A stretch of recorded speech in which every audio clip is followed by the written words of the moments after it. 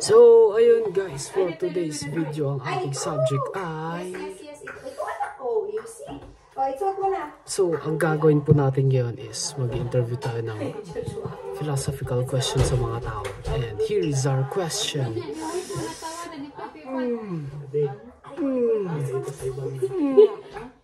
Tada! Sheesh! So, ayun. Let's try to interview some people. Yeah.